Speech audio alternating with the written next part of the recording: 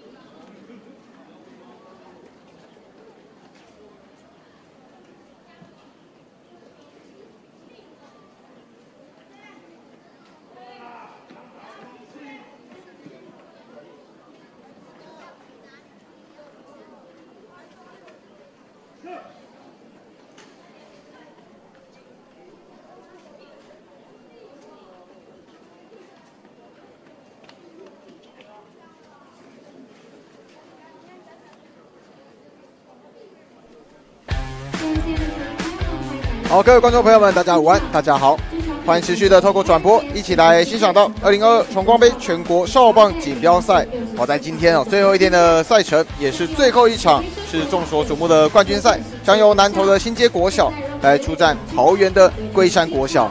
两支球队在今天的早上，我们也都已经同步的看过了他们在四场的这个赛事。在这场比赛场边，同样是邀请到我们专业的球评导师陈世正老师。老师您好，平常好，大家好。哇，今天一连的四战哦，世正老师也都是看在眼里啊。可不可以帮我们来简单的说一下，在这场冠军赛，新街国小出战桃园桂山国小，它的观战重点会是什么？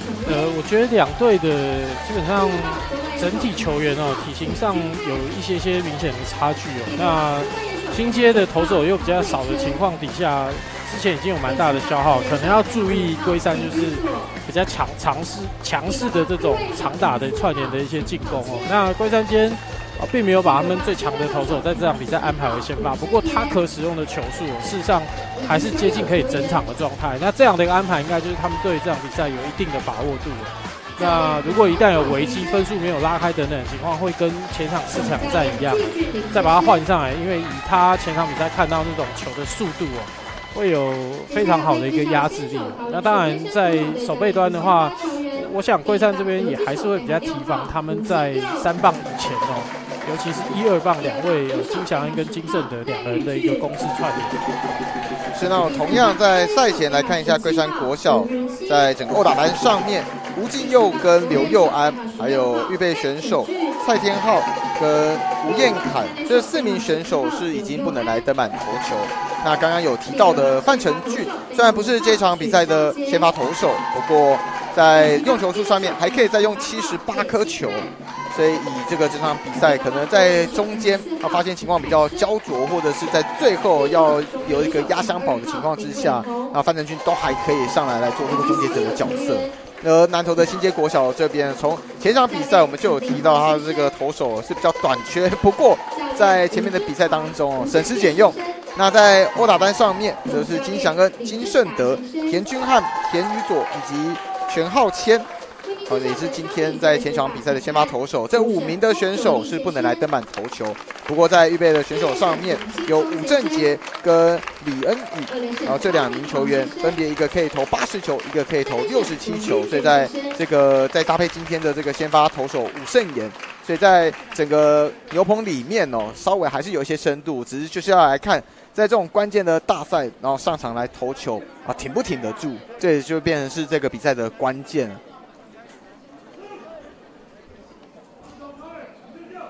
啊，不过都已经站到最后了，我相信在整个攻守上面的表现会比较平均。来看一下这场比赛的执法裁判老师，主审裁判老师是翁卓立老师，一列审林清峰先生，二列审高明煌先生，以及三列审是文玉君先生。啊，双方同样先礼后兵哦，要来争取第十四届崇光杯全国少棒锦标赛的冠军。啊，两支球队。对龟山来讲，龟山在这个崇光杯里面的历史，现在是要来争取看看球队的第五冠。那南投的新街国小，这个应该是要来争取首冠。来看一下，在这个树状图里面，新街国小先后是打赢了这个台东的红叶，以及在今天稍早的比赛哦，也是赢下了一个强劲的对手。那当然，在龟山国小这边。同样的，也是面面对到许多这种四强八强的常客，一路的过关斩将，现在最后来到冠军赛的这个赛程里面。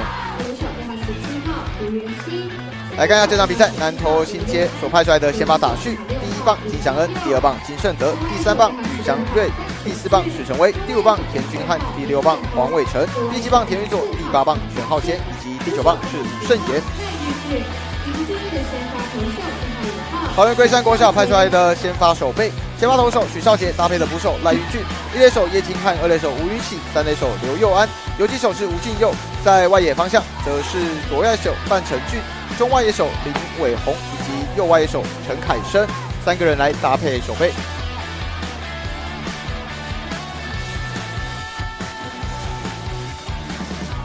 在关键的比赛被派上来来担任投手，先发投手，相信呃教练。对于这个许少杰是有非常强大的信心呢。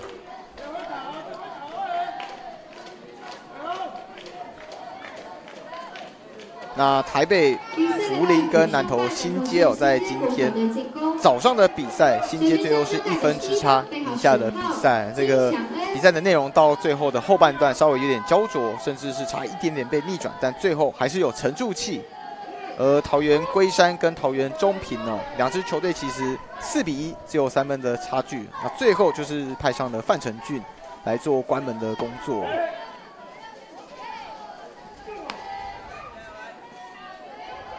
这场比赛由南投新街国小先攻，第一棒同样是金祥恩。金祥恩这个刚呈现的那个资料应该不是正确的，是那个身高体重哦，不可能是现在的他了哦。哇，第一棒开路先锋，现在要往三垒来挑战，看起来哦是游刃有余，而且这颗球传爆了。哇！现在要直接场内的全垒打，刚刚在三垒上面还稍微的休息，这应该会记一个三垒安打之后，应该是传球的失误。不过自己绕了一圈回来哦，率先的为南投新街国小拿下一分。哇！这开路的先锋，光靠自己就跑回来了，是先一个 little triple，到最后再靠着。这个在传接球上面的一个失误，再跑回来本垒得分。再看一下这一球，呃，出来转传的球员哦，这个球传过来三垒其实没有很到位。那责任是在三垒手这边，你要早一点在球没有落地前把它接好，或者说你要选择在后面已经触杀不了的状态，就是再移到垒包的后方，把这个球在好弹跳的情况底下接起来了。金强恩，嗯，现在下去一定是很兴奋哦，直接为球队在第一局的第一个打席就拿下一分了。对，这个还是基本功啦，因为我在看一些这个高中的一些球队在练球的时候，我就曾经听过教练非常凶悍的，是直接传接球，有人传接球传不到位落地的时候，他直接把全部的人暂停，然后问选手一句话。就是像刚刚的状况，你的队友传过来传不准的时候，你要不要接起来？你现在不接起来，你比赛的时候是不是也一样不接起来？不接起来就是掉一分。刚刚就演给你看。对，啊，非常少见的一个情况。我现在要赶紧的重新来整理一下心情啊，因为比赛还在继续哦，而且现在才第一局。我不管怎么说，南这个南投新街开路先锋这一棒啊，这个打下来，我觉得对要来争取这场比赛气势当然是有帮助的啊。这个你要跟龟山这种球队打哦，要比他还会打了。呃，过去我曾经在这个球场转播过打赢龟山的比赛哦，是在选拔赛，那已经是下学期的更重要比赛哦。那是用单场九支全垒打把桂山给打掉。哇，这也不容易哦。那哨棒比较有可能发生呐。以在崇光杯这十四年来的历史哦，新街国小是甚至连前四强好像都没有打进来过。现在还在翻阅的这历史，对，应该是连十四强都没有打进来过。所以在这一届的比赛，现在打进四强，甚至是在冠军赛里面先持得点。再来看一下这一球，中间方向直接穿了出去。金圣德随后在下一棒也是上到了一垒的垒包。嗯，这个一二棒就是攻击箭头了哦。所以龟山做这样投手安排的调度，我觉得也合理哦，因为你如果先把范成俊排在前面哦，再加上其实前一场比赛他已经有一些用球数的使用，呃，如果他没办法很精简的来投完整场比赛的话，一旦换投，那后面的投手接在他后面上来，那个速度的落差变慢是很明显的哦，是不是？反倒他压不住的时候再换投，反而是呃更难处理的状况哦，那干脆是。换一个投手在前面先投，那看遇到什么样的状况，因为对他们自己的一个打击，可能呃一些分数的追赶，像这样一分来讲要追也还是有信心的。在头两名的打者，现在整个气势倒向新街国小这边，所以龟山的教练刚刚也是暂停上来跟头部组合之间稍微叮咛一下。现在打者要轮到新街国小的第三棒。吕祥瑞。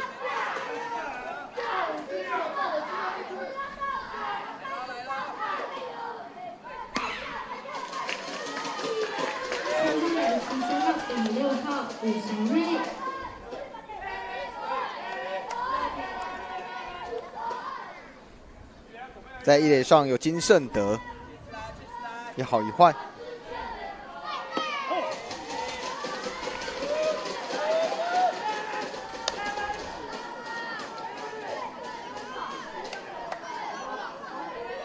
这个秩序册是没有看到身高体重的一些资料，不过应该在报名的其他资料里面，报名球队是有填报。不过前三棒有两个，哦其实蛮明显的，那就不是现在的一个身材啊。是，所以 这这个如果是填报的话，一般还是建议哦，教练多花点心思哦，在填报这个的东西的时候，需要更新的还是把正确的给给做好来了。先来看一下这一球，棒子敲了出去，在右边方向右外手第一拍哦，还稍微有点踢到球，就让金胜德一口气现在是攻占上了三垒的垒包。嗯，现在这样的一个打击状况，会不会逼死龟山？就是更早要做一些投手的更换。对，开局目前你不把最好的有有加有压制力的投手用上来，那没关系，我就尽量打。我先攻，我就先先多拿一点分数哦。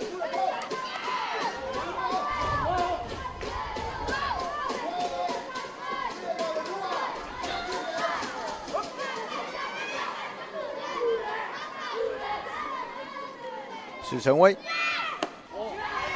好，现在要来抓一下在一垒上的吕祥瑞，接来发动盗垒。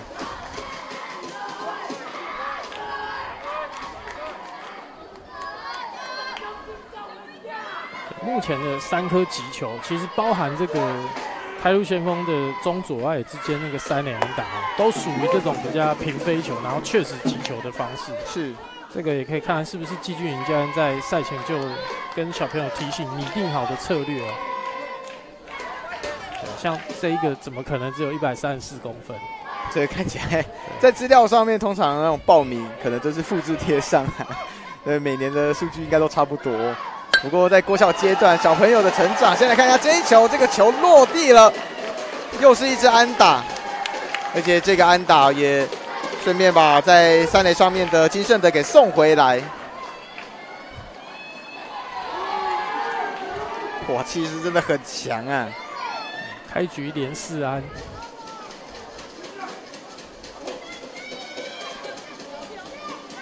而且真的全部都是以这种扎实击球为主哦。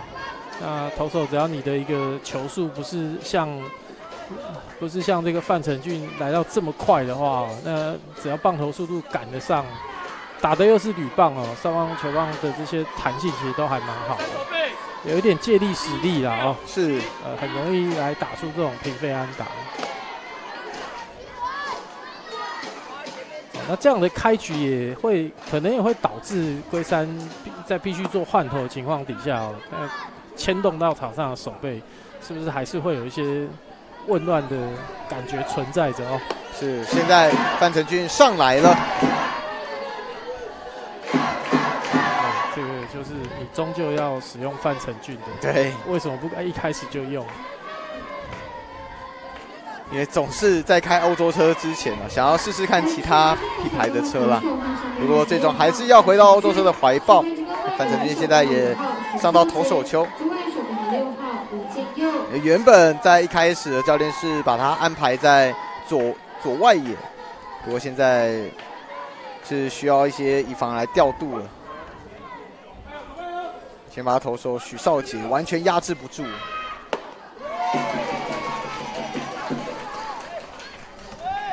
新界国小第五棒田君汉。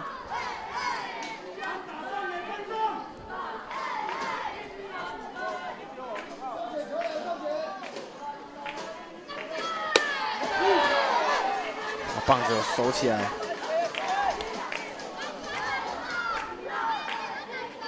现在面临的是一三的有人，没有人出局的情况。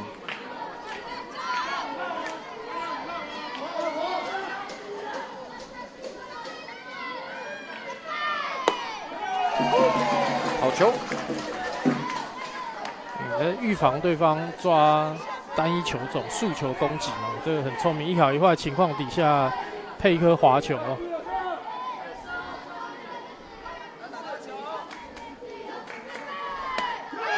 哇，最后 high face ball，还是挥棒落空了。这个球直接来到逼近一百一十五公里，抓下第一个出局数。场上打击来到第六棒，九号黄伟成。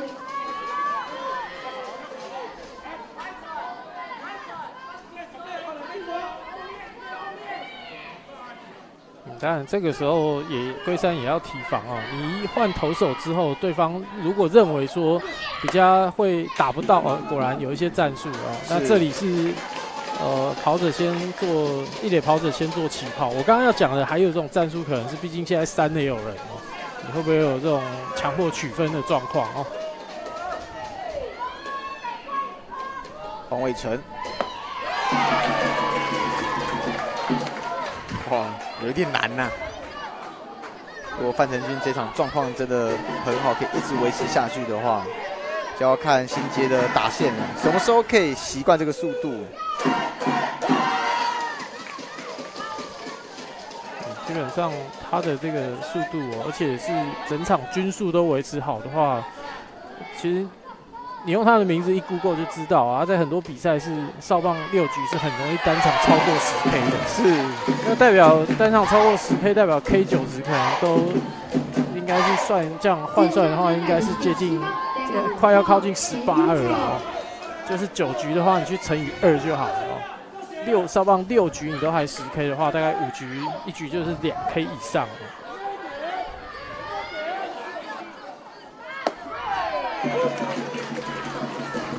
他这个速度哦，我们大人站到打击区去打那个，相对都反应不，都要一段时间反应哦。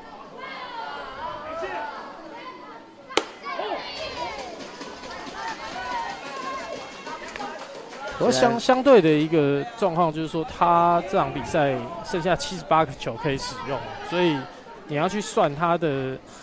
三振数一旦投的多，也代表用球数消耗多，是那能不能投完就是另外一个问题了哦。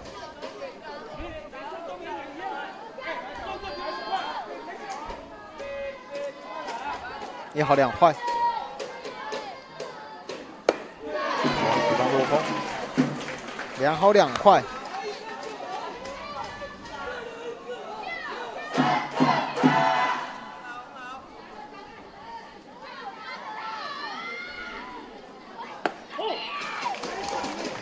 基本上他的体型哦，就是看他未来身高上面还会不会再有一些些成长哦。那个模板的话，你可以想象就是 U 十八的国手王彦恩，或者说已经进入到职棒的这个陈志杰啊。是，这边最后拉钩上来之后，连续拿了三个三振，留下了二三垒垒包上面的残垒。不过在一局上半的，新街国小靠着季强恩还有金胜的两个人回来拿下两分，现在开局二比零领先。我们休息一下，稍后回来。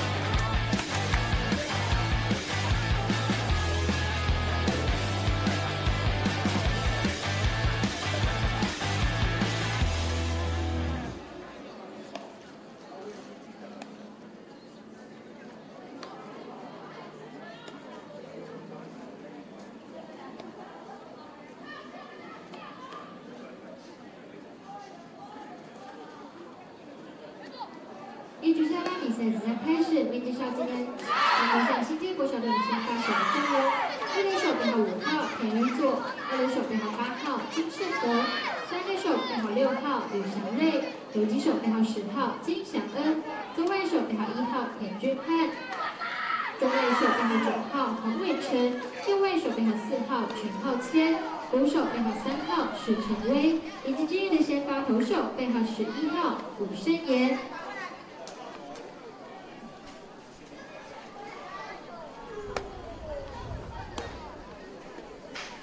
一局的下半，我们回头要来看一下桃园龟山的。我们先来看一下南投新界国小的先发守备名单。先发守备先发投手武胜炎搭配的捕手是史成威，一垒手田宇佐，二垒手金胜德，三垒手吕祥瑞，游击手是金祥恩，在外野则是左外野手田俊汉，中外野手王伟成以及右外野手全浩谦来搭配守备。桃园龟山的先发打序，第一棒吴敬佑，第二棒赖玉俊，第三棒吴允喜，第四棒范俊成，呃范成俊，第五棒刘佑安，第六棒许少杰，第七棒叶清汉，第八棒陈海生，以及第九棒是林伟宏。刚刚开局哦就被秦杰敲了两分，不过现在要来看一下吴胜炎，他能不能够顶住龟山这边的打线呢？你这两分其实并不算保险啊。他如果像早上的队友一样是左投，应该是全浩谦这边哦，能够有好的控球的话，其实都还很难说。龟山的打击虽然凶猛，但不见得会有好的发挥了。是，基本上少棒阶段这种个头矮小的左投手，只要控得准，其实都还是有优势在。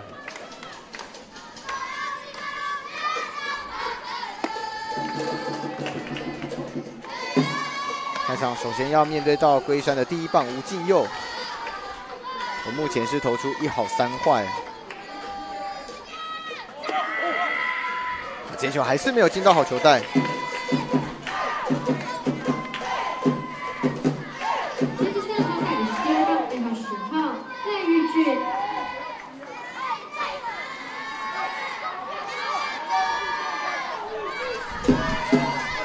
保送上垒，现在要轮到龟山的第二棒，背号十号的赖玉俊。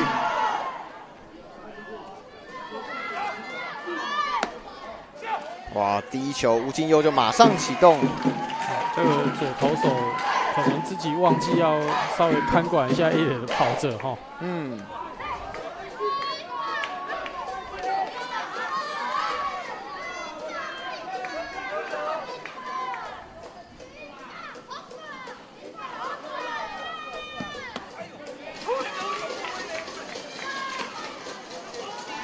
好球！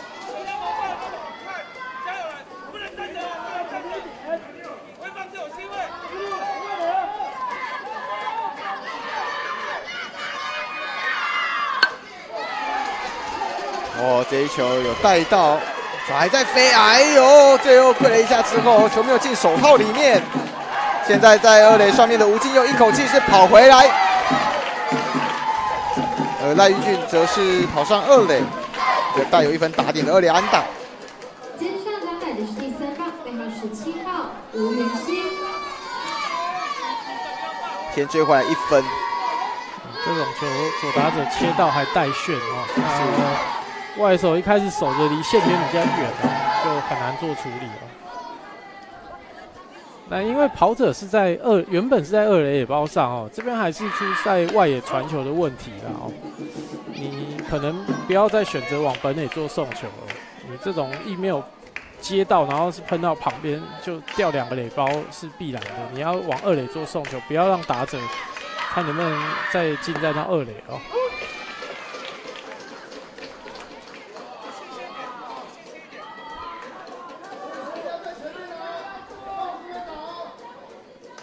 吴云喜，龟山国小的。先发打序，跟上一场比赛，除了第八棒的谢品宏换成在今天比赛这场比赛的陈凯生，那其他基本上是没什么调动，最多是在这个守备位置上面有做一些调整。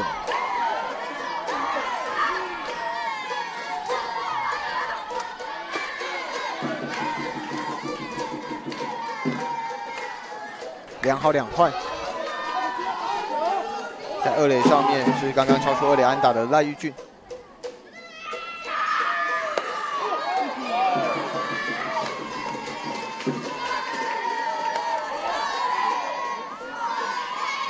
现在来到满球数，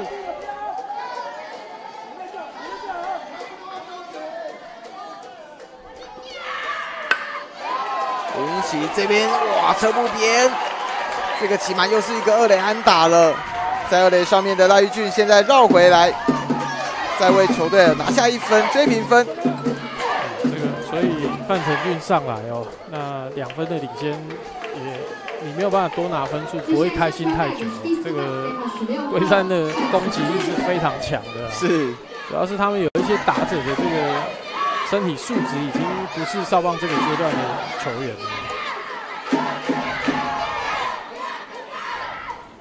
包含当然包含现在又要接着上来打的这一棒，所以是不是新街也马上要换头？从比赛开始到现在大约二十分钟，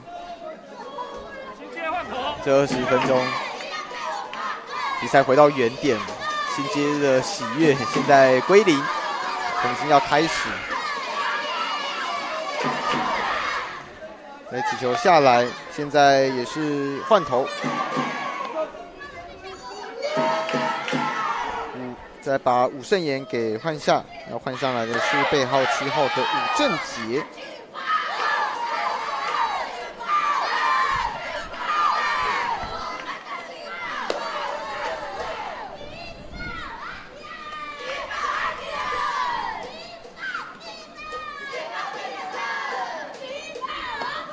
哇，不过在这个新街国小这边，武圣言跟武正杰，目前以这个数据上来看是没有看到有这个投手的投球状况统计。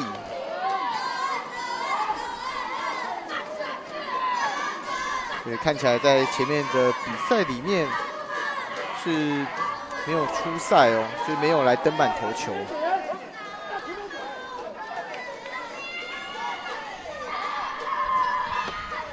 下勾型的选手，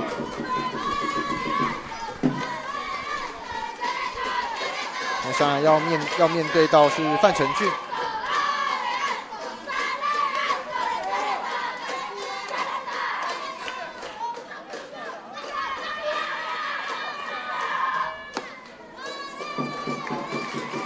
头两颗都是坏球。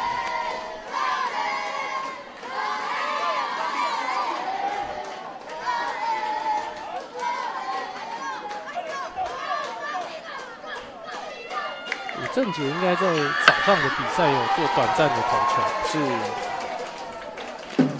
这颗球打出来之后落地还是形成安打，因为我们看到这个攻守名单上面，他后面是有特别做注记的。如果一路投下去的话，他可使用的一个球数是八十八十颗球，这样的话早早上应该有投过五颗球，我记得是一个打席啦，但还是。控球不好的原因就马上换下来了。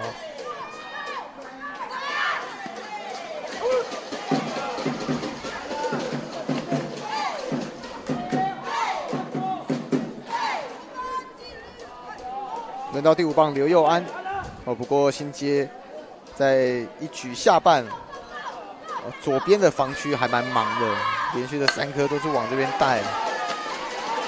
现在换一个方向，中间三个人、四个人都来哦，最后还是有接近手套里面，这个抓到出局数，这个是直接金强安越区办案的。当然这种。你看他跑动的距离，那四个野手来讲的话，这当中是属于他本身运动能力最好的哦，所以才有机会赶得上这个几乎要三不管落点的球，直接从游击的防区一路往外跑。现在则是轮到许少杰，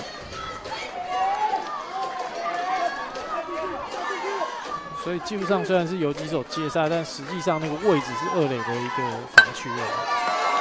也可再敲出去，游击手在挡到往一垒的方向传，再抓这个出局数。不过龟山在三垒上面的吴云喜则是跑回来为球队拿下超前分。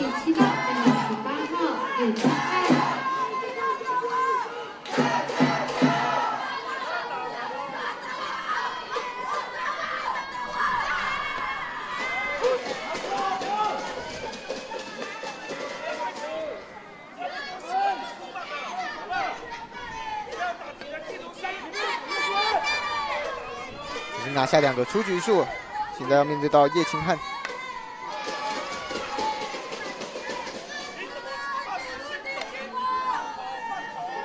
我在三垒上面还有范丞俊。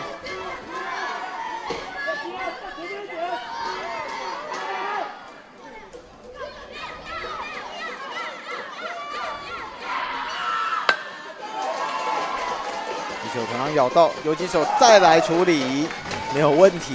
哇哦，那今天这个吕祥瑞，哦，那个金祥瑞有一点忙啦，不过最后还是帮助球队三个出局数都有抓到，在一局的下半，桃园龟山把比数给超前，三比二。我们休息一下，稍后点回来。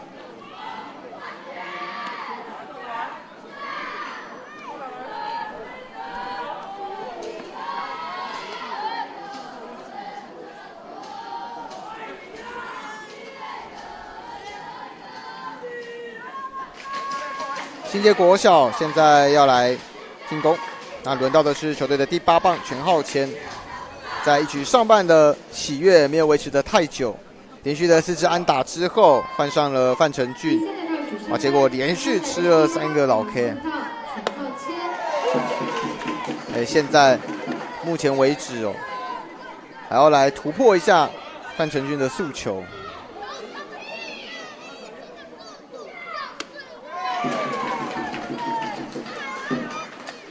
范成军在这一场比赛能够用的球数是七十八颗球，现在是已经用了十六颗。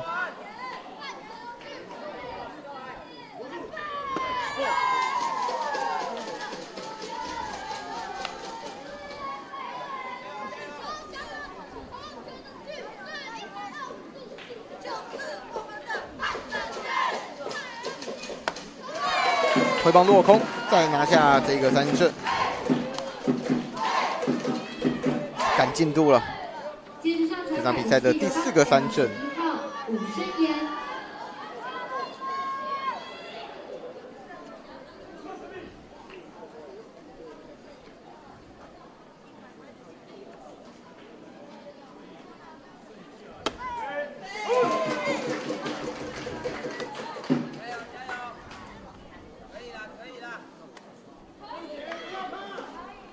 现在轮到新街国小的第九棒，十一号的武胜炎。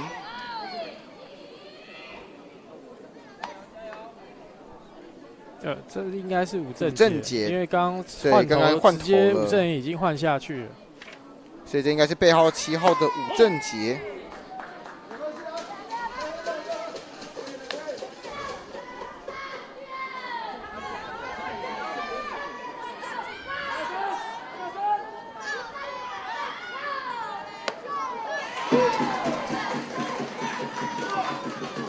好两换。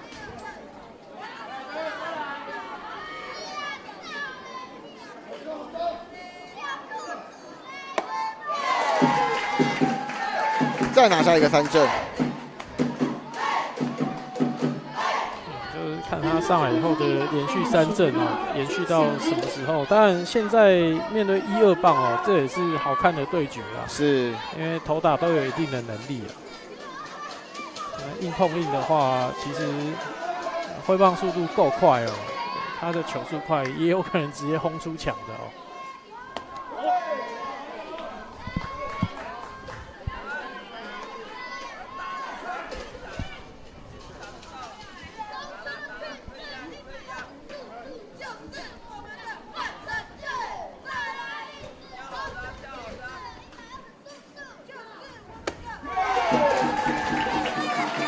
落空，一好一坏。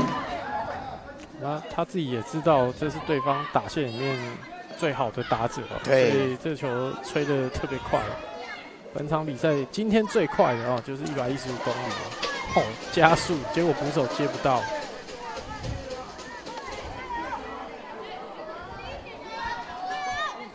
一百一十六公里的速球，一好两坏。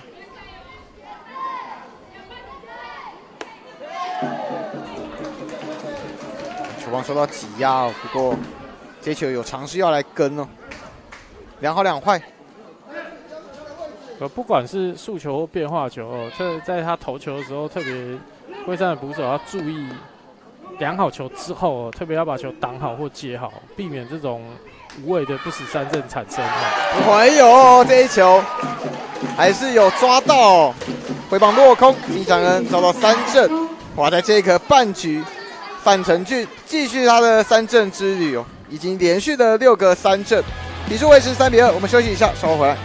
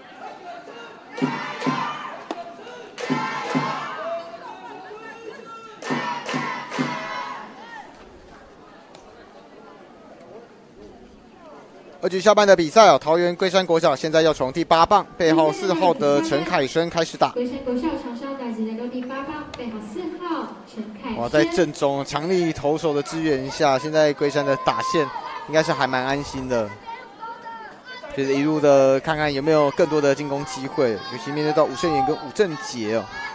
现在在板呃投手板上面是武正杰。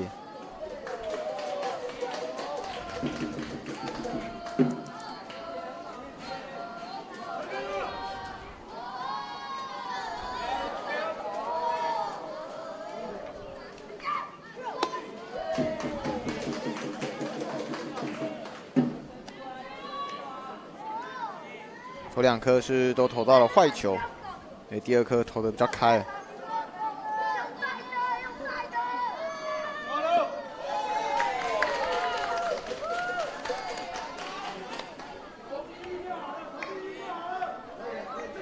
教练在旁边也是鼓励哦，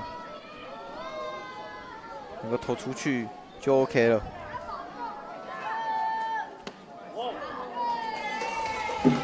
最后。是没有办法，陈海生被保送上垒，接着要轮到龟山的第九棒林伟宏。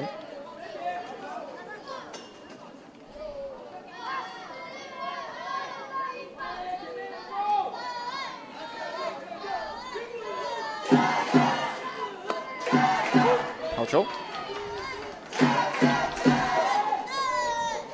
有林伟宏虽然在最后一棒，但在这个比赛中所累积下来的数据是固定的，有在上场做打击，而且打击率超过五成，接近六成的打击率。那基本上早上我比赛有看到他在选球做得很好，以外就是需要做攻有投进来的球哦，自己本身那种球棒控制能力能够找到球是做得很好哦，这个就。这样这样这个投球动作的投手哦，控球不稳发生的时候，球也比较慢呐，所以他本来是横出来做干扰，那最后坏球收棒以外，就刚好是投到自己的背后，转身过来背面面对，争取到多一个上垒。现在教练又上来了，也这个开局又是一个蛮艰难的状况。现在一二垒有人，没有人出局，在打击区上面要重新轮到第一棒的打者吴敬佑。嗯，这个其实也没有什么投手可以用了。对，那还是要靠自己解决。那就是教练刚刚在场边喊的已经很清楚，你自己要想办法投进去哦。对方打了以后再看我们自己守备守不守得起来哦。这一局的难度是在于说无人出局一二的又从一棒开始，哦，结果这个时候连续出现问题，有可能这一局哦会变成龟山的大局哦，是，因为接下来的三棒基本上他们第一轮是已经有长打或者说有这种击球非常强劲的内容了。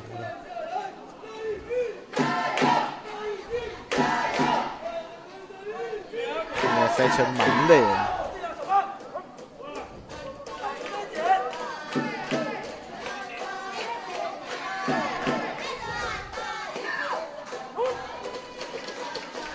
球！面对第二棒的赖玉俊，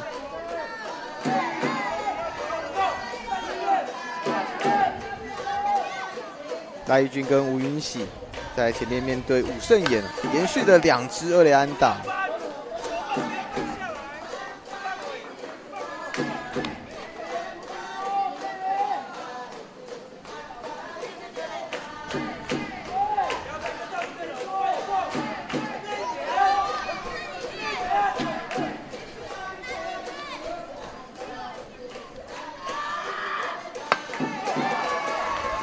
打出来，在左半边，游击手来处理，现在往一垒传，就这边发生传球的失误，这也让原本啊跑上三垒的林伟宏也顺势告回来了。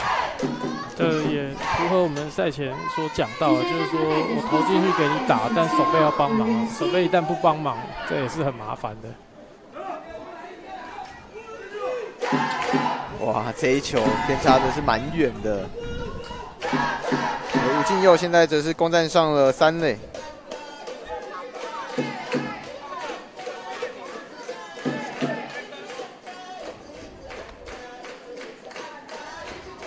正常来讲的话，打者这边不会打太急哦，是一垒的跑者会想办法先跑上去再说。哇，结果这时候三垒又要回来得分了哦。又一个爆头，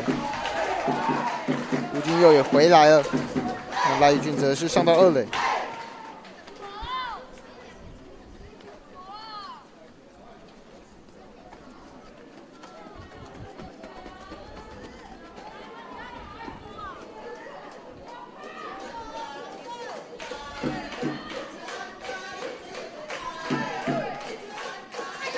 哇，又发生触身了，哇！是单局的第三个死球、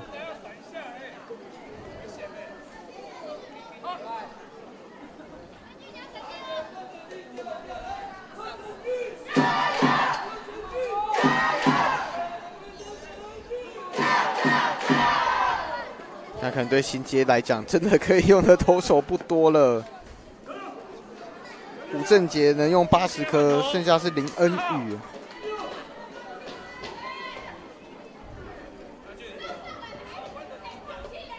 结果现在是换上十四号，路马夫曼格格。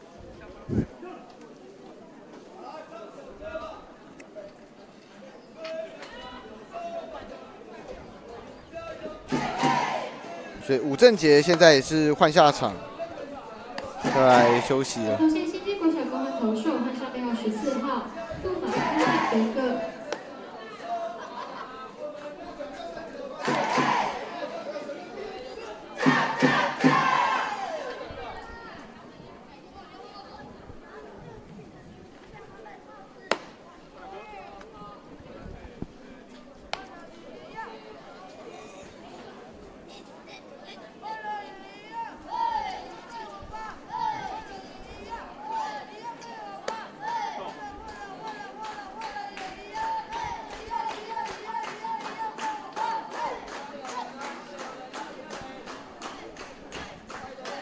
那现在换上来啊，要面临到的情况也是很严峻。不过现在首要的当务之急，因为现在已经六比一了，五分的差距，要来看看能不能够至少让战局延长下去，先顺利的来止血。我既然是从板凳上来，应该这样在牛棚里面是有做过热热身的，所以整体上来再来看一下有没有一定的质量能够来阻止。有抢到第一颗好球啊，是呃状态应该是 OK。不过现在其实你面对的打者哦，这个也不好，很难对付啦。哦。对，范成进，你让他看一颗完，接下来再一样的速度进来哦，恐怕是会带出到外打到外野的长打的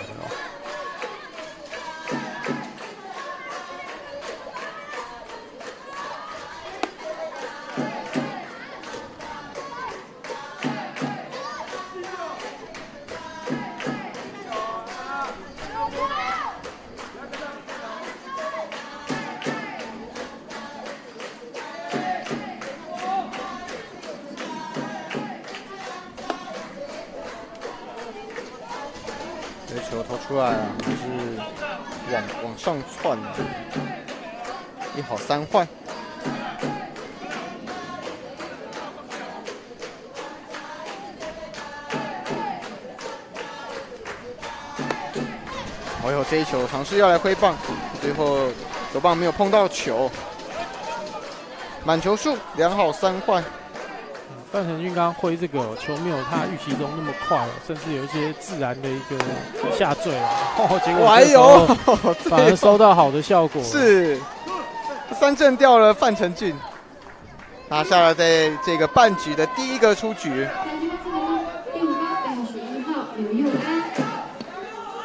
哇，这边是看着球进来哦，没有挥棒，遭到三振。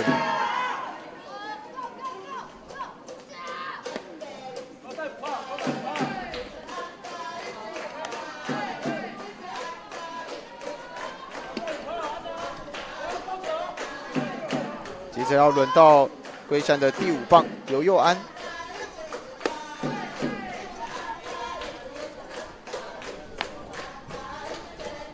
我虽然解决掉范丞俊了，不过后面的打者也都不好惹。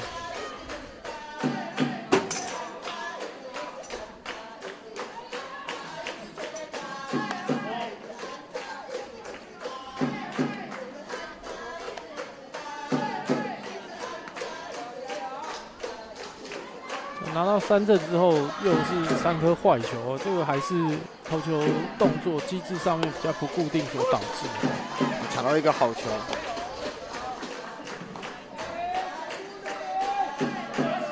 不过在场边的这个加油团今天一整天也是很辛苦，不断在旁边帮小朋友来加油打气。这颗坏球进来，尤安对保送上垒，现在又是满垒。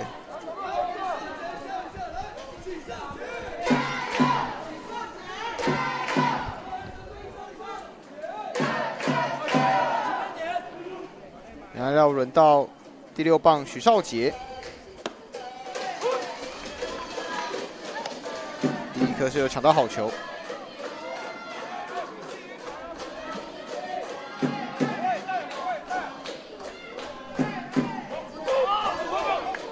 哦，这个被抓头的话，结果这边又再送一分。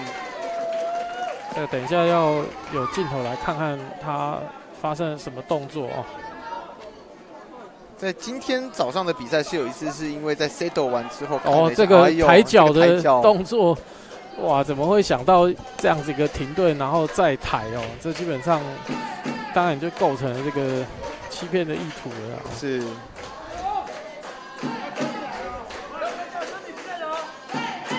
也因为投手犯规哦，在垒包上的跑者是会往前推进一个垒包。你看他这一球，这一次在做的时候，还是有一点要两段式的这个节奏。不过，我觉得啦，小球员还是从基本开始啊。你直棒看到那种两段式投球，基本上他们都是日积月累的训训练之后的。然后还有就是下盘也够稳，你可以停这么久，然后。不放过，带出去了。这一次是影响到自己投球的品质啊！没错，是一次把在二三垒上面的跑者都清回来，自己则是上到一垒的垒包，再回来两分了，带有两分的打点。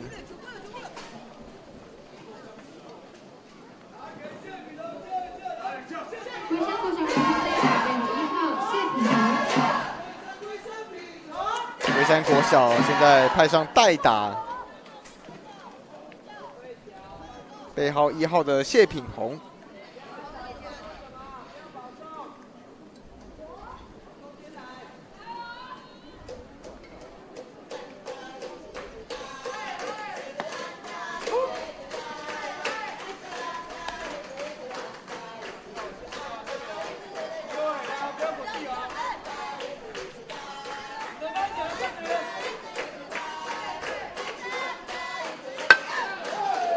球在投手正前方的球，自己来处理没有问题。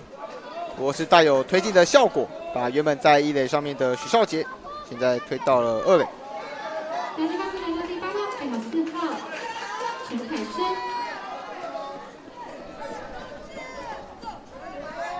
不过这样也是抓到了第二个出局数哦，在这个半局目前已经失掉六分了。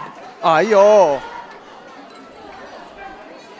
陈凯生上来，惨遭球稳。这一局频频换头，但这个控球的状况，这个完全没办法了哦，都是直接扎在打者身上。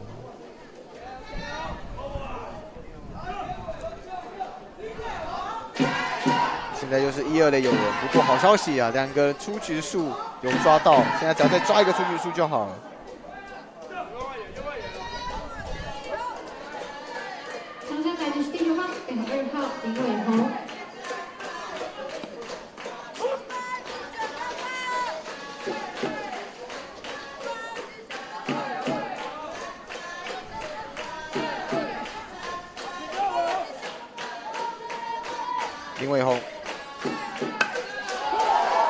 哦，做打得很好哦！刚刚就讲过了，林伟宏该攻击的时候是有能力的一个欧巴。现在自己要往三垒来推进，而且把原本在一垒上面的陈凯生送回来，再拿下一分。这个虽然他是在第九棒哦，但从早上的比赛看到这一场哦，我自己是蛮期待这名球员他将来身材整个完整发育之后的这种表现的哦。是，整个挥棒的协调性哦，然后还有选球，主要是看到他在。攻击一些球的那种粘着度，那个球棒控制的技巧。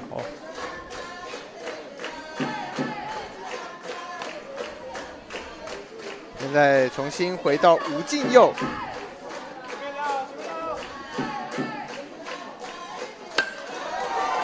吴敬佑再带到左边方向，所以你看界外球这一局哦，就是标准的龟山的打法哦，是他的这个。投手完全开始把你压制之后，你这一局自己出的状况就是不断的丢出触身球、死球了，那我就直接把你炸开了。真的，现在是一个炸裂的情况。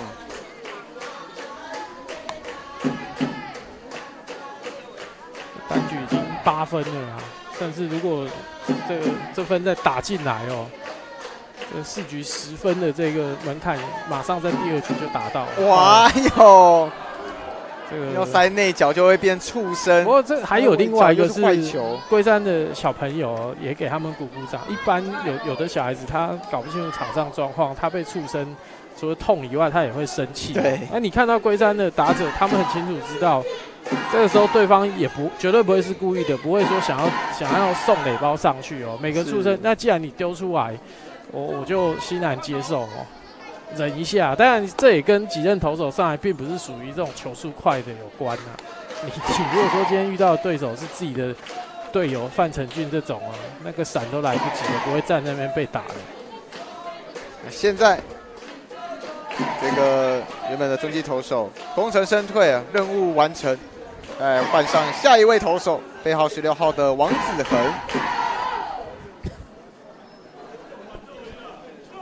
来看一下呃投手的身份战能不能够一个一个来抓了，毕竟现在已经两个出局数，现在失分与否可能就已经不是重点了，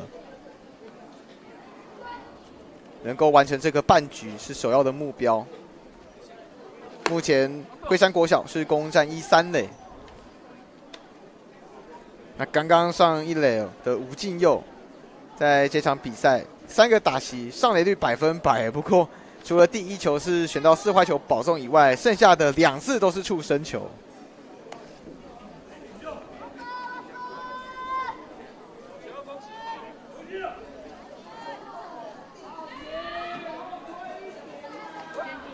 那这个分数有扩大的话，对于龟山的优势是变成。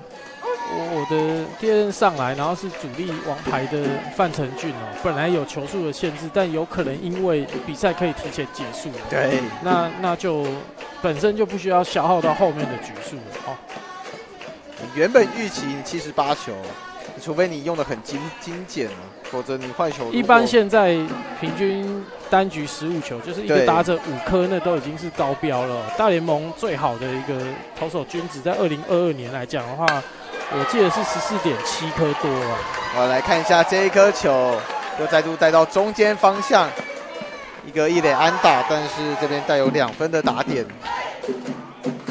现在已经过了这个四局十分的门槛，接下来是三局十五分了。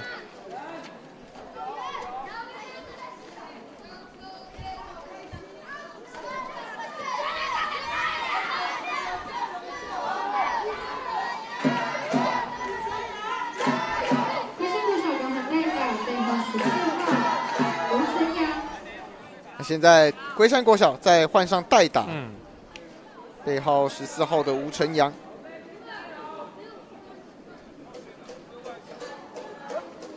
往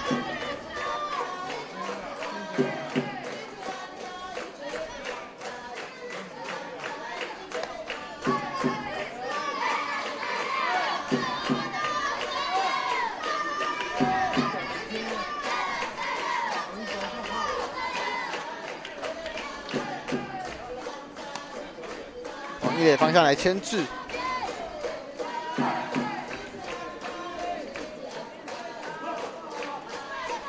啊，尽管分数领先了很多，不过旁边的加油团呢、还是希望能够一直安打，一直一直打哦。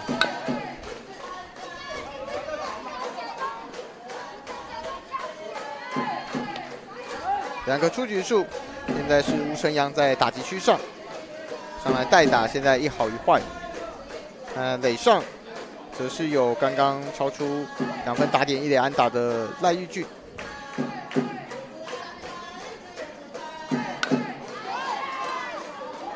哇，这个也是要小心哦。这名代打者也是壮的啊，就不要被他一棒咬中。连续几颗这个滚地球，其实那个滚动速度都比一般打者打出去的来强劲。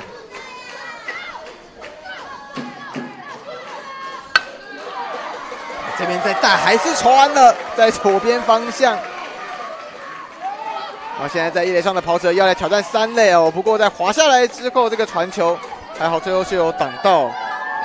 那原本打出安打的吴晨阳则是趁传，现在上到了二垒。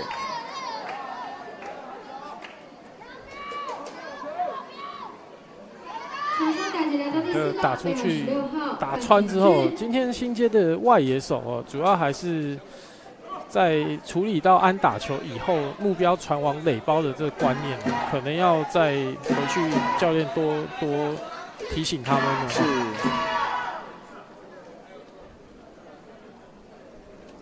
在两人出局的情况之下，龟山现在在得点圈又有两名拿着门票的同学在外面等待，十三比二。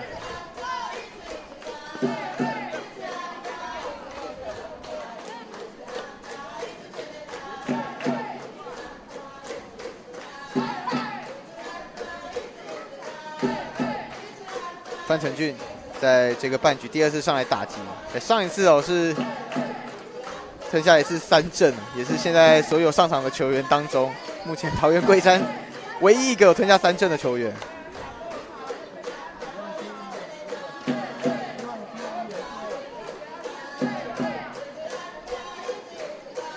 不过范成俊在整体攻防的能力哦，绝对不是吞下三阵就可以小看的。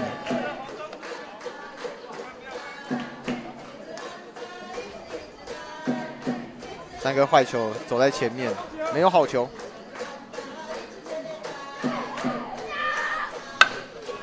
这边在看出去，哦哎呦这后面这个两分，而且现在范成俊他自己的脚程，哦，现在先停在二垒没有问题。不过在二垒上面的前两名跑者，哇，这边的传球又发生了失误，又是外野回传的失误哦，这个都多给垒包了哦。对包含刚现在他打回来这两分也都是多掉的垒包所导致的哦。那当然，刚刚三坏球的情况底下，教练团也是很信任他的打击，看起来就是给他绿灯做进攻。是，哇哟，这个球的谁反应得过来？叫王威成来接都不一定接。这个没办法啦。这两分再回来，现在十五比二，距离这十五分的门槛越来越近了。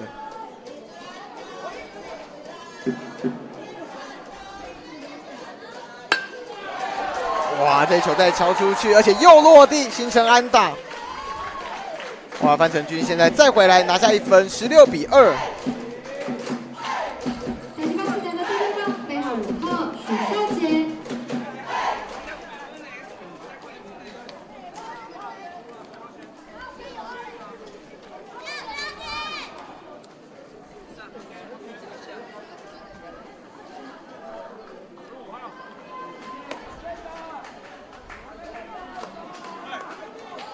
一的刚刚的打者应该是有换代打，对，刚刚应该是背号九号的吴彦凯，不好意思，因为还还在确认，所以看的比较慢。不过刚刚打出一垒安打送回范成俊的是吴彦凯，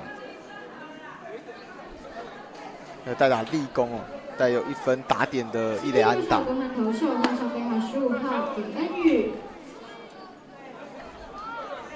向国小换上代打，编号七号徐浩轩。那现在两边一边换上代打，是背号七号的徐浩轩，龟山国小。而新街国小这边则是换头，背号十五号的李恩宇。李恩宇在之前的这个投球上面，只能够投六十七，在这场比赛只能够投六十七颗球，所以应该在之前的比赛当中是有负责到一定的局数吧。或者是一定的人次，要来观察看一看。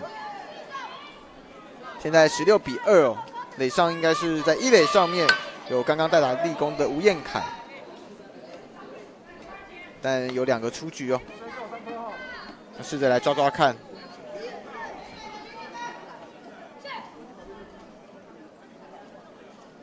现在要面对上来代打的徐浩轩，这球再敲出去，这边稳稳的接往一垒传，抓一个出局数就好，没有问题。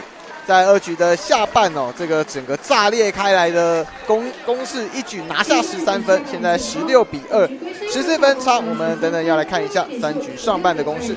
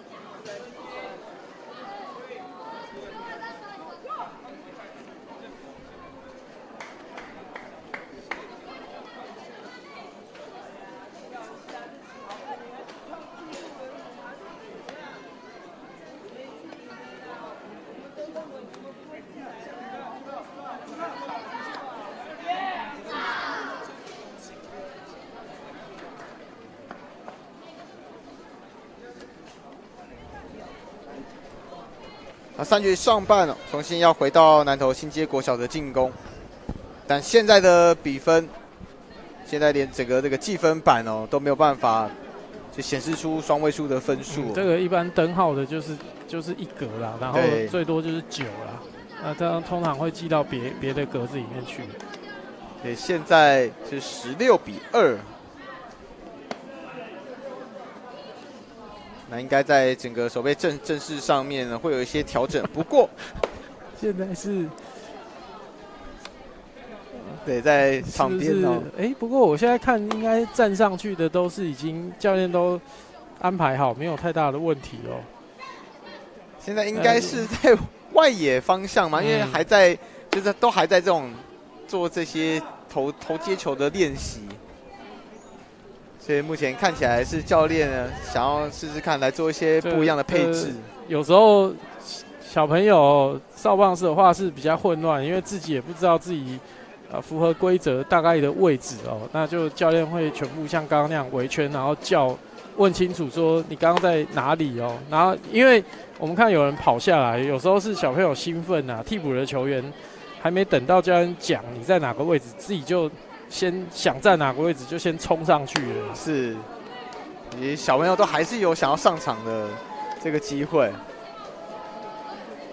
我史成威原本是在先发打序上面啊，目前在看下来的话，应该是教练希望也可以让其他的选手嗯是有上场的机会，所以让史成威先下场休息。对，不过这也都是也都是学习啦，哦对因为你第一个你对规则要了解，再来就是一些换人，然后所谓的顺序的更换，然后棒次应该要怎么样？第一个避免错棒的问题哦。那再来就是有时候教练你还是要听从教练的安排，就是我我我自己在带队发生过那种，就是我们比数拉很开，基本上应该可以掌握的哦。那球员给我他自己想要上场，他就自己给我上去了。我基本上是因为我要留一个，要避免那种有人受伤，万一场上不满九个人比赛，我领先我会被收掉这样的问题哦。哇，这个对之前的比赛里面就有发生过。对，所以这个选手一定要特别注意，有时候教练会刻意在场上留一个，那不是说都不用他或怎么样，就是在预防这种状况。所以各各种，我觉得球员要进步最快就是你你可以同步哦，把自己跟教练一样跟上教练的一些想法跟思维哦，不管作战上调度上。那当然对小朋友来讲这是比较困难的。但无论怎么变动，在投手球上面依然是范成俊。那现在要面对到的是新街国小的第二棒哦，这个全胜德。范成俊会不会上来到比赛结束哦直接九连 K？对，因为现在这个三局上守起来，三下有可能龟山只要进一分，比赛就终结了哦。啊，不过刚刚应该是我看错了，刚刚下来龟山国小的三号是蔡元浩，的确就是在这个替补的预备选手名单里面，是所以刚刚应该真的就是自己跑上去很兴奋。不过这个有时候教练可能有交代啊，就是说刚刚是谁打，然后等一下守备的时候是会他打，然后换你守哦。那对，小朋友有时候也有可能没有听清楚。那我们在带队比赛刚刚讲的那种状况，就是当换人换的多的时候，甚至有时候没有换人哦，就是你不小心晃神什么，那个棒序打错哦，打错位打击，这个也曾发生过，就连直棒也有过哦、是。还有这个是有敲到哦，不过在三垒手的手套里面，王一磊传没有问题。所以第一个把他的球打进场内的哦，也都还是新界这边比较主力的打者对哦。，金祥恩跟金圣德，但金圣德则是呃金祥恩前面则是吞下三振，是金圣德目前唯一一个有打到这个范成俊的球。那龟山这边在人员的调度上面呢，又再次的做出调整。龟山国小守位置更换，左野手换上背号十五号刘华杰。新界国小打击棒次为第三棒，背号六号吕祥瑞。那现在在画面上，背号十五号的刘华杰，那则是刚刚被换上场的球员。哎呦，这颗球也是有打到哦。嗯，安打出来了哦。对，哦，从这个范成俊手上拿下安打位。置上交代的是第四棒，背号三号许成威。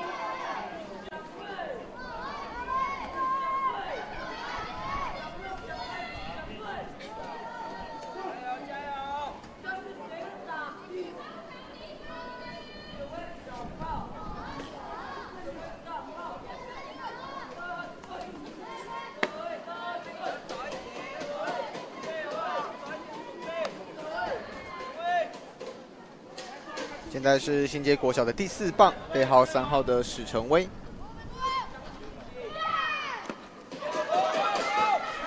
哇，这个球有点窜的比较快。李祥瑞现在跑上二垒，嗯，这在他的投球比较少见哦。那看起来是因为分数拉开以后，好像在做一些变化球种的测试哦。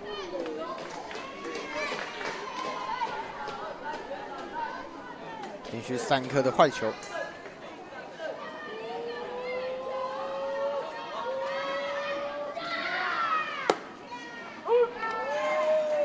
哇，这是好球，这是好球。哈哈哈哈哈哈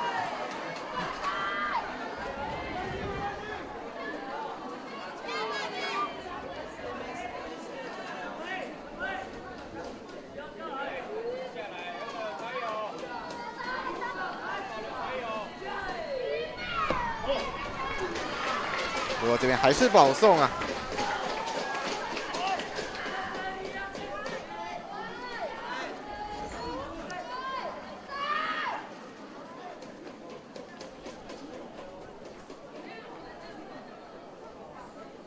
我现在教练上来，应该也是叮咛一下，因为在整个投球内容，如果能够再调整回来，要抓出局数应该是没有问题。所以我想，如果是测试变化球啊，那变化球投不好，教练应该可以接受。但如果是这个以外，就是说自己因为领先分数超大幅的话，那个心态的放松哦，教练就会提醒哦。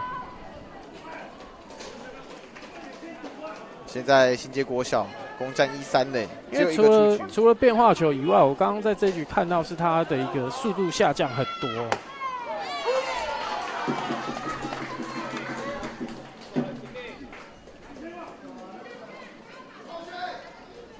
刚刚就是从田君汉开始的。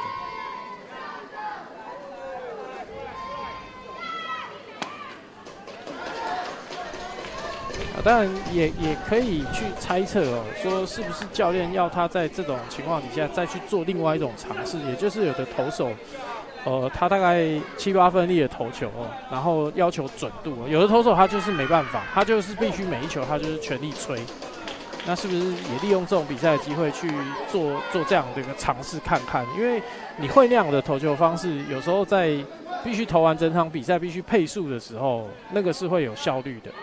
但如果发现说那个控球就完全找不到的话，就我觉得就不需要了啦。这哇，蛮明显，这一局这种一百公里左右 左右的球哦，这个都是投不进去的哦。对，而且被范丞俊的球打到，哇，真的是直接软下来了。如果他的投球均数哦，应该正常就是一零五到一一零之间哦，感觉起来他整个投的力量释放来讲最舒服，然后整个投球机制也是正确的。那你硬要说抓这种七八分力的投球来导致现在满垒这种状况，我觉得是真的没有必要哦。蛮的。他刚刚测速枪测到，同样是一百公里的球，不过距离他原本要吹起来这种一百零五到一百一十公里，一百公里的球，在这几天的比赛看到，就是其他投手投起来要使劲吃奶的力量啊，他是投得很轻松啊。但投的轻松，你要有控制力，那才有用。你不然你真的遇到跟你实力一样的对手，你放力投球是没有控球，那还是没有用啊。现在就要看能不能够完成，和教练可能有下达的这个功课。啊，你看他现在这球比刚刚只要多出一点力，基本上他应该是一零五起跳的哦。这其实很明显啊，一零五跟一百每五公里大概就是差一个档次啊。哦呦，一百一了，所以，所以这就印证了刚刚那些一百公里的那个都是放力在丢啊。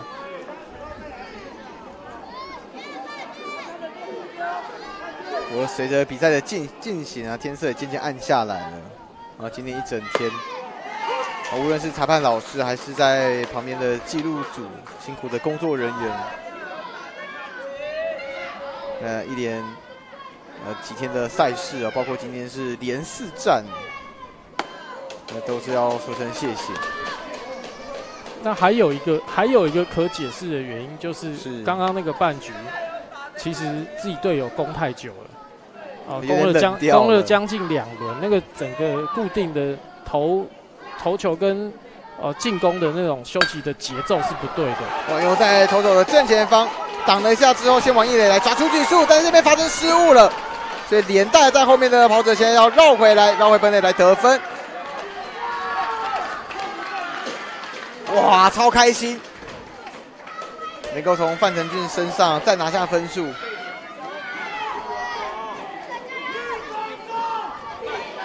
这球打者是打得很好哦，但是我我如果是龟山的教练哦，我会去，但我标准要求比较高一点，就是投手第一个这一局的状况哦，那是不是冷掉这些可以再做讨论？那刚刚这个好像有被打到哦，是不是要下来做治疗？那还有就是像这种投手前正面的球哦，你是不是在这局的专注度就会不够，所以没办法直接接杀？龟山国小国汉投手换上编号十二号。不过教练还是笑笑的啦，所以应该也是，应该也是还好。那现在要换上后援的投手，是背号十二号的邱泽伟。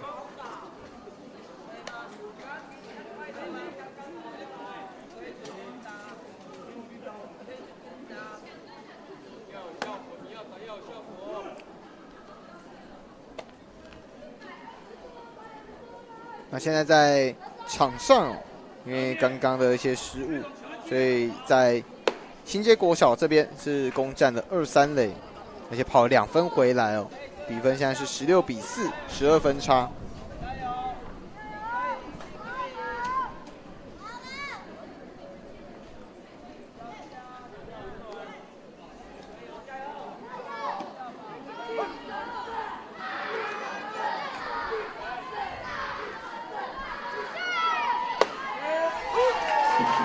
现在在场上打击要轮到新街国小的第七棒田宇佐，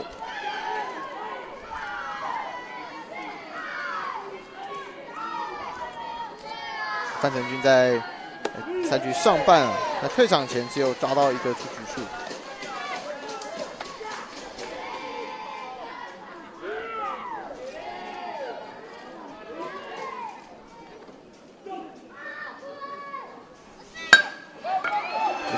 敲出去，现在要来看一下内野的手背，没有问题。再抓一个出局数。那新街国小这边田君汉则是有绕回来，再为球队追回一分。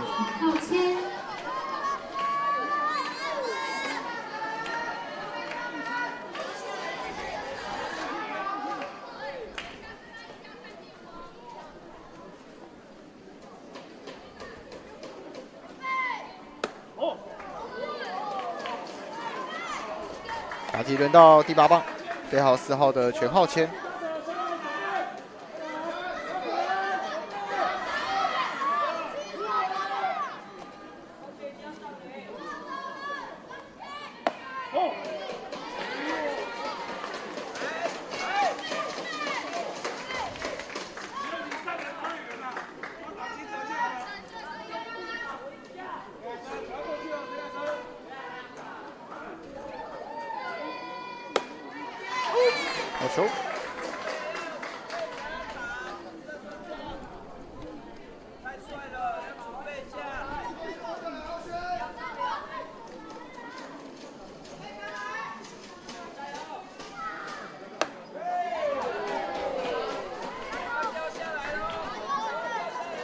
三块。啊，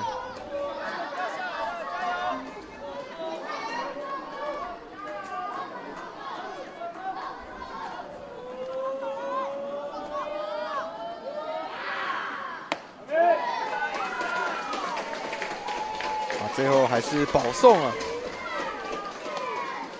今天上场改是第九号，代号十五号。其实其实现在才三局而已哦，真的少少棒的比赛哦。不要说这样子，觉得说不会被翻的哈，这个真的很难讲。对，不过我觉得还是先把这个第二任投手范成俊在这一局前面被打到受伤退场前的内容自己没有做好。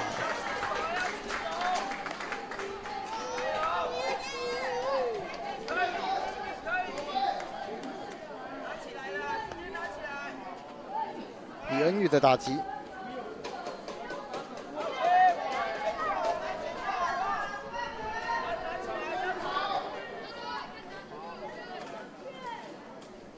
我新接的小朋友上来是有要追分的意思哦。那当然了，丝毫没有再松懈。所以这对龟山来讲，现在要赶紧上紧发条了。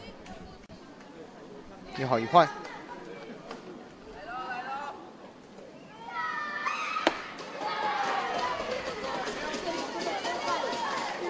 对桂山这边来讲哦，范成俊算是压箱宝。看这边现在下场，那后面有多少的投手可以补上来？那投的稳不稳定呢？是一个关键。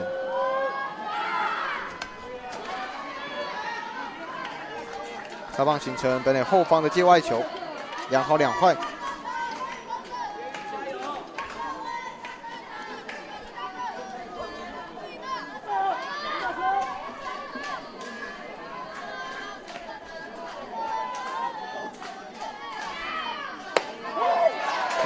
正中了，这个拉弓拉掉，在三局的上半，安头的新街国小是追回来了三分，十六比五，现在有十一分的分差。不过在范丞军下场过后，邱泽伟及时的补上来，把这个数据数给拿到。我休息一下，稍后回来，三局下半的比赛。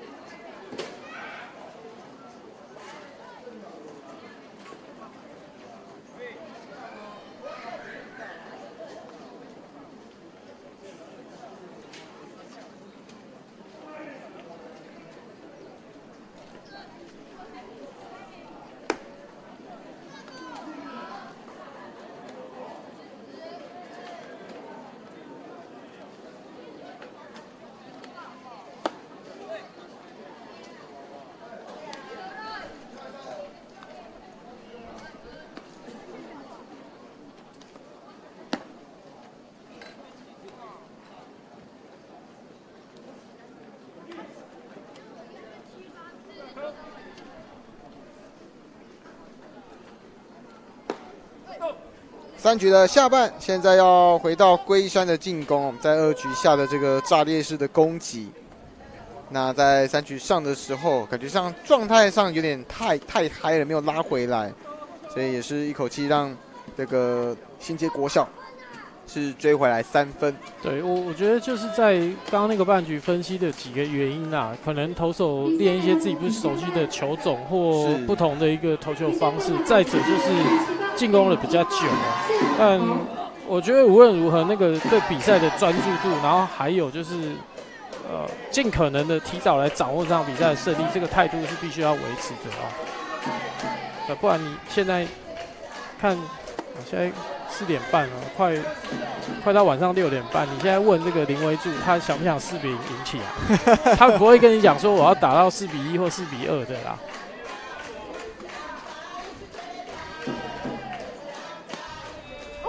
过现在在场上投球的同样是林恩宇、李恩宇，呃，面对到的打者是龟山国小的一号谢品宏。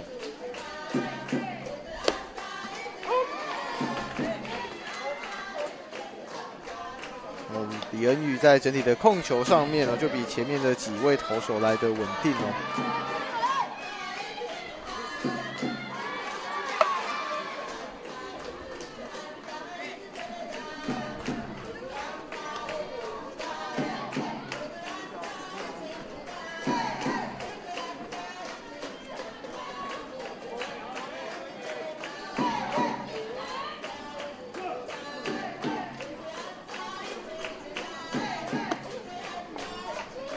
龟山自己还要注意一点，就是他们在上一轮那个攻击哦，其实一阵大班风，把我相信是把一些能力更好的一些主力球员，其实都已经换下来了。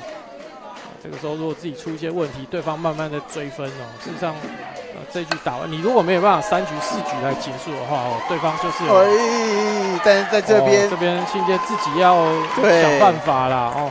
你现在球打出去哦，不过在。尤其是这个外野的手背上面，哦，球往往是都能够落地的哦。我觉得对方不是没有给予你机会哦。那现在是差不多十分的差距哦，在少棒就可以常可以见到这种你觉得安全的，然后做比较多人员更换以后，对方慢慢追上来，结果你在场上的主力球员已经下去，也不可能，呃，这个也没有再上场的规定。对，那那最后比赛胜负难料。在棒球场的世界里面，下去就是下去，跟足球一样。啊，不是像篮球这样还可以换上来、换下去再换上来。这边同样是带出去，哎呦，有挡下来，现在要赶紧回去抓到好球了。嗯，这个进攻端哦，这一球的，当然这球算是游击手的美技哦。是，那。过这球因为是贴地的平飞球，其实我觉得跑者还是可以保守一点哦，你不需要那么的出来哦。哦，其实他有对一拍，不过你对一拍完又是跑出来的情况才造成这个出局，这个基本上都是跑垒错误了哦。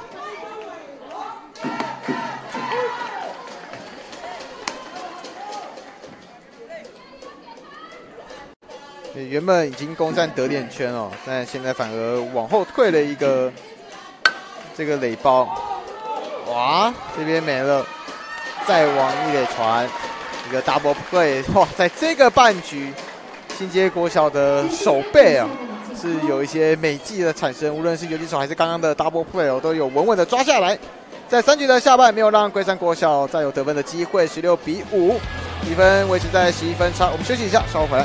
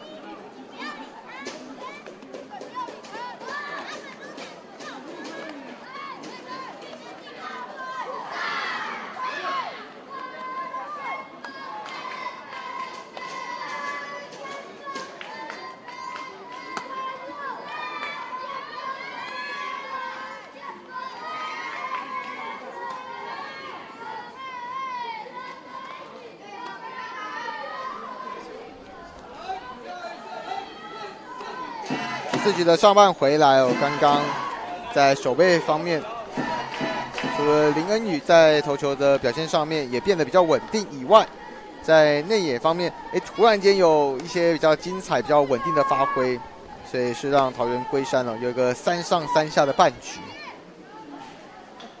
现在回头，如果要来追分的话，那就要趁着这个机会了。因为龟山其实在刚刚有一些人员的调度了。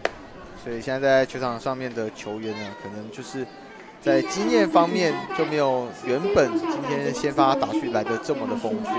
金祥恩，而且原本这个苦无法解决、无法面对的这个投手范成俊，现在则是已经下场休息了。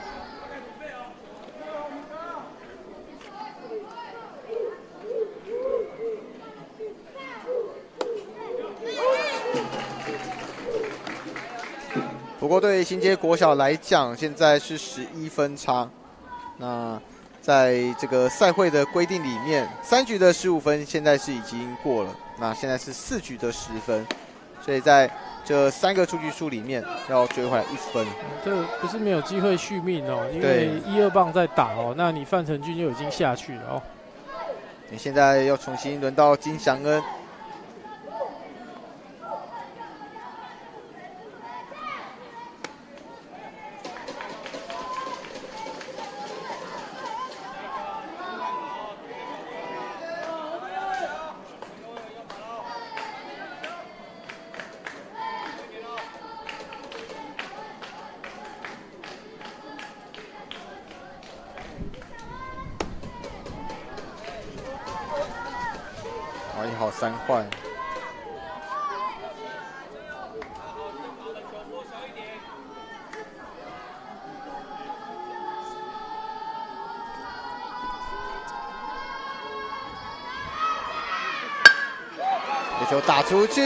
打穿了，安打出现，在左半边的滚地球。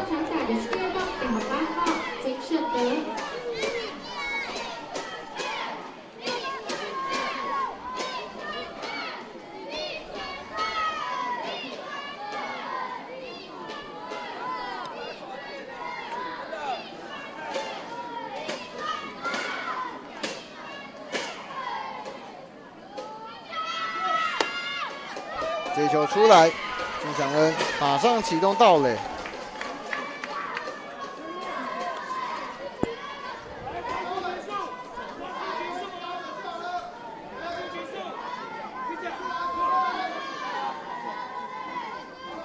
嗯，基本上看这两棒的攻击哦，以及如果他们上垒哦，并且有取得分数的话，后续打者的发挥了哦。今天确实在范丞俊投球前第一局这个先发投手不是他的时候一开局是连续四支单打。是。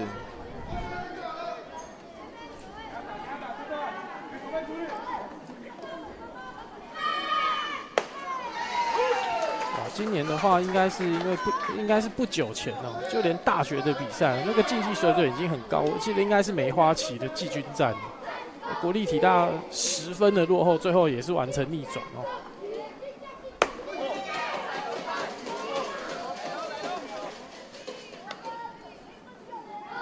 啊，现在的关键是在于这个半局哦，坏球，坏球率比较高。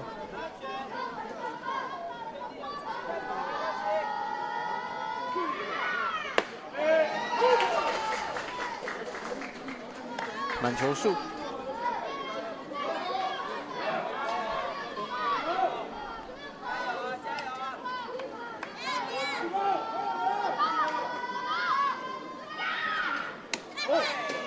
哇！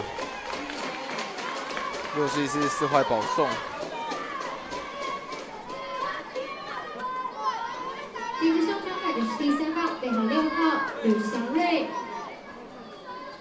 在这个半局投出来的十一颗球里面有七颗是坏球。主要是在前面就提到了，在范成俊的投球压制过程当中，事实上他整个威力是非常好的。但是你一旦他下场之后，这个还是我们当时讨论的，还是分数差距没有这么大的情况底下，那有可能打者一瞬间那个球变慢，看得更清楚哦，选球的那一个适应是更好的。那看起来现在邱泽伟就是坏球率是很高的情况。那南投新界当然就是在更仔细的做选球，然后希望来堆叠跑者。哇，这个被抓到。这边自裁垒包，再往一垒传，还有，那这个传球又是没有接到。哇，今天双方在往一垒传球这边，都是有一些瑕疵的。这个是守备能力的话，这个应该是换上去。这我刚刚讲到换上去的这些，不是先发。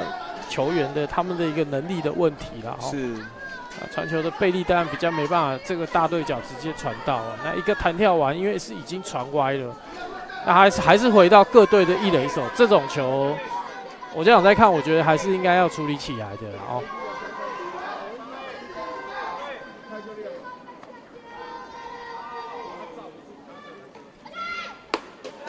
不过还是有抓到原本。在二垒上的金祥恩哦，在三垒前封杀出局。啊，金胜德则是上到了三垒。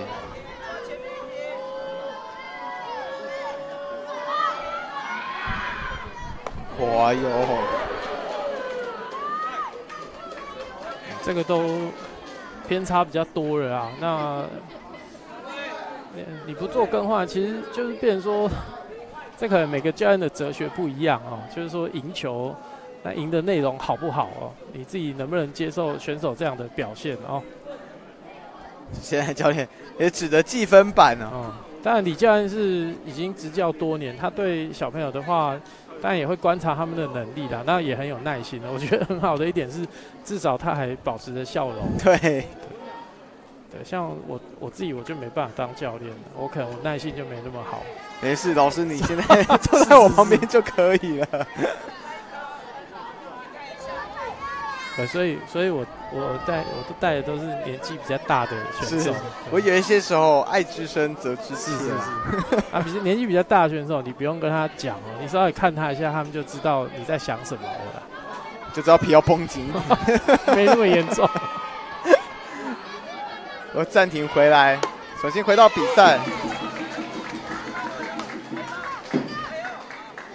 这个像李教练呐，像东源的赖教练哦，这有的家长都说，他们都已经从年轻哦，当到现在都已经是那个球员，感觉都可以叫他们阿公了。哇，这球还是没有投进去，同样是一好三坏。现在可能更多的不是有没有勇气投，而是自己控不控得进去。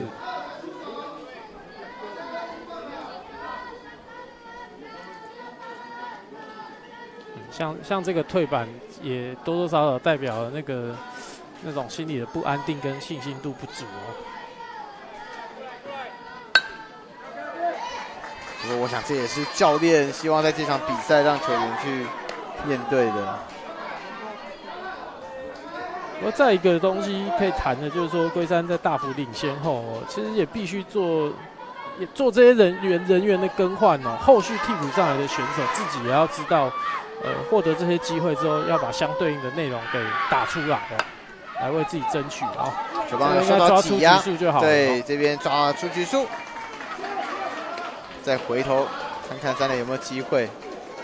不过新街这边是有跑回来一分，刚好的十分差，但是有抓到一个出局数，君汉你现在是第二个出局。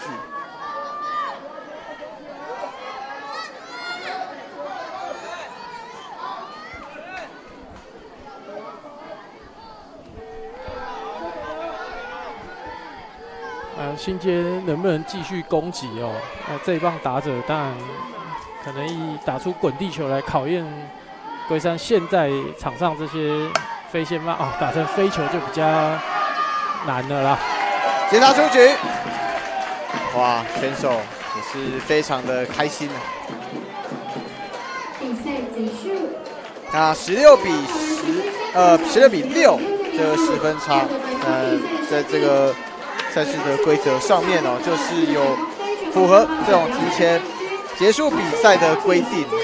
哇，这一场比赛里面的确是有很多他值得拿来检讨的地方，但是龟山国小在第二局哦，一次直接一波流十三分啊，十三比零的攻势带走了比赛啊。